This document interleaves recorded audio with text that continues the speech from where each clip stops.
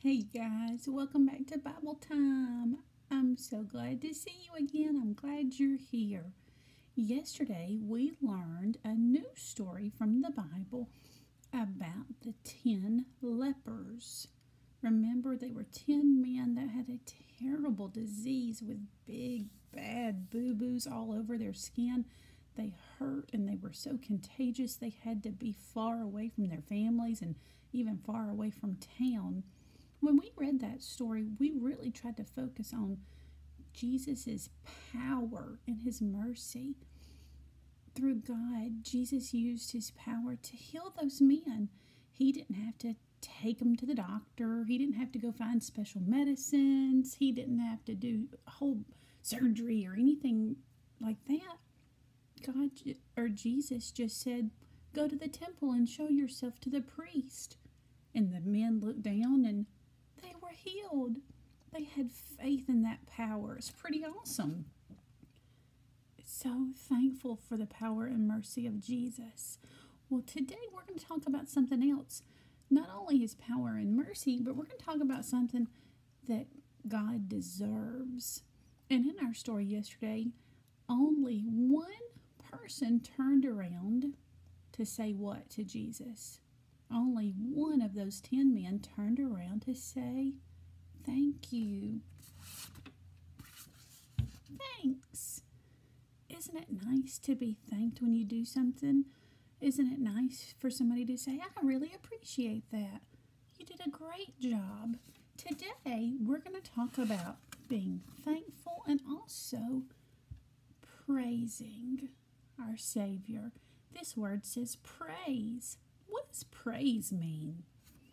I know you like it, even if you don't know what praise is. Praise means when you tell someone how much you appreciate them, you tell them how good they are, you tell them what they're good at. You like to be praised. When you do something good on the baseball field, it feels good when somebody says, Oh, good hit or good catch. In the classroom, I love to walk around and look at your work and say, how neatly you wrote that. Good job. Or you worked so hard to blend those letters together and make that word. Great job. It feels good to be praised. Well, God our, and our Savior Jesus Christ, they deserve our praise. Can you think of anything that we could praise Jesus for today? I can. I can think of so many things. Thank you for your power.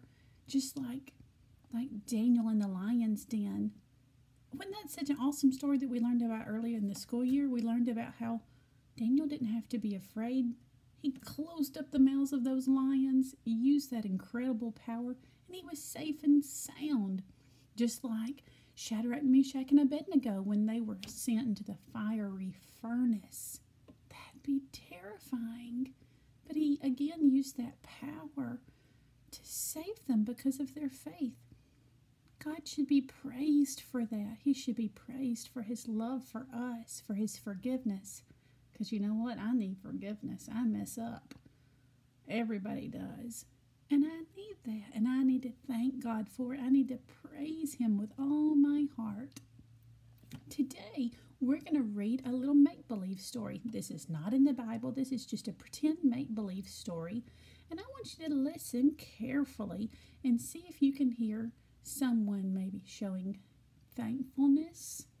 That means like gratitude, or somebody even praising someone else. Listen carefully. This is the story of a little girl named Lexi, just like my little friend Lexi and another na- friend named Rachel. So listen carefully. Lexi was so excited to go to Rachel's birthday party. She was just giggling with excitement. Have fun, her mother said as she walked Lexi up to the door. Now you be on your best behavior and remember to thank Rachel's mom, Mrs. Erb. The party was wonderful. There were balloons and streamers. Rachel and her friends played games and had yummy cake and ice cream. Mrs. Erb did tricks and made everybody laugh. Rachel loved her presents and she thanked everyone and gave them a hug. It was a terrific party. At the end of the party, the moms and dads came back to pick up their children, and the children all excitedly told their parents all about the fun they had at the party. And as Lexi was walking to go get in her daddy's car to leave, she said, Wait, I forgot something, Daddy. And she ran back into the house. Lexi had forgotten something very important. She ran up to Mrs. Erb and said, Mrs. Erb, thank you so much for the wonderful party. And she threw her arms around her and gave her a big hug to thank her for letting her come to the party. Why, you're welcome, Lexi, said Mrs. Erb, Rachel's mom. I'm so glad you came to say thank you. You know, you were the only friend that came back to say thanks. I really appreciate that. Now then, that's the end of our story. Did you listen carefully to that? What was Lexi so excited about? She was excited to get to go to her friend's party, her friend Rachel's party. Her mother reminded her to be on her best behavior and to use her good manners, and she also said to make sure you thank Mrs. Erb, Rachel's mom. Now, Rachel's mama worked hard to make it a wonderful party. She made sure that all the children had fun and Rachel was celebrated.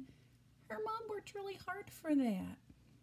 And what happened at the end? All the other children were excited. Everybody had a good time. And then everybody left. And only one person remembered to say thank you. How do you think that made Rachel's mom, Mrs. Erb, how do you think it made her feel? I bet it made her heart so happy when somebody remembered to say thank you. She had worked so hard for that. She deserved a thank you for all that effort, for making sure it was so fun. And how nice of Lexi to remember. It feels nice. And it makes your heart happy when somebody thanks you when you've worked hard or you've done something nice for someone else. You deserve to be thanked and appreciated. Well, guess what? Even more than we deserve it, because we make mistakes, God deserves it. He deserves every bit of praise we can give Him. I want you to think right now is there something you can think of to praise God for? What do you think? What's something that God has done for you that you can tell Him thank you for? I bet I know a lot of them. You can thank God that you're healthy. You can thank God that you have a wonderful family that loves you. How about all those toys and wonderful things you have at your house? Have you got food to eat? Have you got a nice house to live in? Of course you do. Has God forgiven you when you make mistakes? You betcha. We can give God all the praise and glory for that. We should give Him all of it. We're so blessed by Him. I hope you can try to remember throughout the rest of your day today to praise people when they deserve it. Like sometimes mommies and daddies get tired and it's hard to take care of everything they need to in the house. If you see someone in your home taking care of your family, like taking out the trash or unloading the dishwasher or cooking supper for you, how can you show them that you appreciate them? Can you praise them? Can you thank them? Of course you can. So when you look around your house today, tell whoever it is thank you for whatever they're doing for you and for your family. Everybody enjoys and needs to be thanked. That's right. And even more importantly, today, when you're playing and having fun, or when you're working hard on your schoolwork, or when you bow your head to pray tonight before you go to bed, I want you to think of something, some way to praise God and thank Him for your blessings. That's right, you sweet guys. I know you will because you are a blessing to me. Do you know that Miss Rush and Miss Cavan and I pray for you and we thank God for your hearts. And we thank God that we get to know you and love you.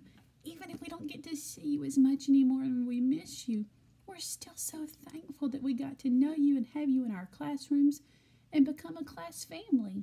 You are very, very loved. Well, today, for the last of your Bible page, or your Bible activity, I need you to do page, excuse me, I had to cough, page 106. And it is easy peasy, lemon squeezy. You can do it. The instructions say color the shapes. It kind of looks like a puzzle. It says color the shapes with a dot in them. And then you will see a secret message. So if there is a shape on your page and it does not have a dot, do not color it. But if it does have a dot, color it in. And when you have colored in all the dots, you will see the super cool secret message. You can use any color you want. You can use lots of colors and make it rainbow.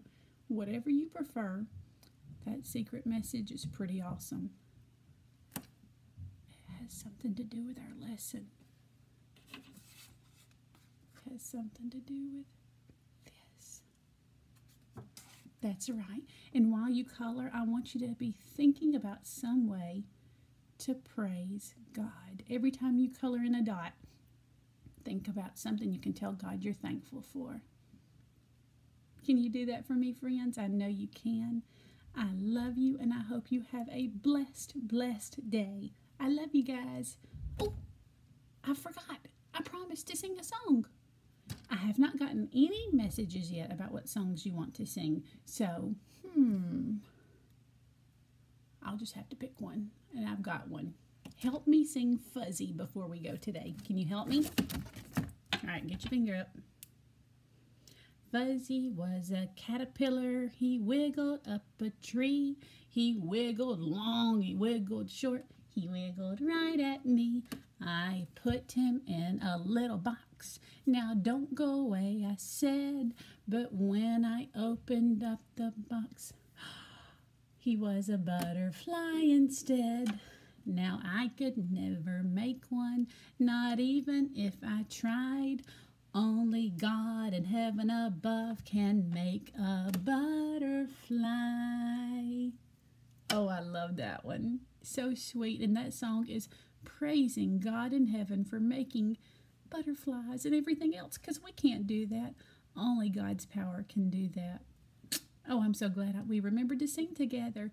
Friends, I hope you have a blessed day. I love you so much. See you soon. Bye, guys.